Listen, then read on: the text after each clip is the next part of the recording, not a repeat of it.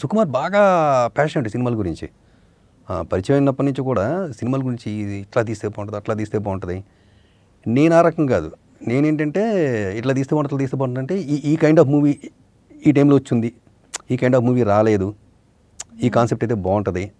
ఈ kind of contribution నాదనమాట అది. యాక్చువల్గా ఏంటంటే మొత్తం సుకుమారే కారణం అక్కడ.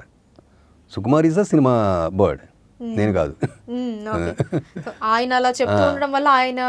మాటలు బట్టి మీకు. కూడా ఆటోమేటిక్గా సినిమా ఫీల్డ్ మీద ఇంట్రెస్ట్ కలిగింది అంటారు అంటే అట్లా అని కాదు. అంటే సినిమాల మీద ఇష్టం అయితే ఉంది. బట్ సినిమా ఫీల్డ్ మీద కాదు కదా. మ్మ్. యాక్చువల్గా ఆర్య అయిన తర్వాత సుకుమార్ నన్ను ఇక్కడ ఇండస్ట్రీకి వచ్చామన్నాడు.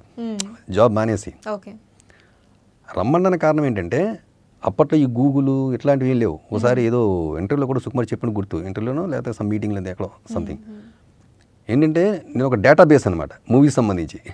ఒక రకంగా ఏ ఇన్ఫర్మేషన్ సరే పలానా కైండ్ ఆఫ్ మూవీ ఎప్పుడైనా వచ్చిందా? పలానా సబ్జెక్ట్ ఏదైనా మూవీలో ఉందా?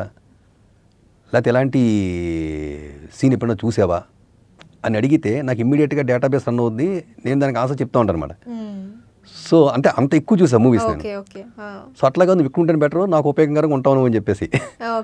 అని తీసుకొచ్చాడు. నాకు యాక్చువల్లీ ఇండస్ట్రీలోకి అడుగు పెట్టాలని ఇంట్రెస్ట్ లేదు. సుకుమార్ వల్ల నేను ఇండస్ట్రీకి వచ్చా.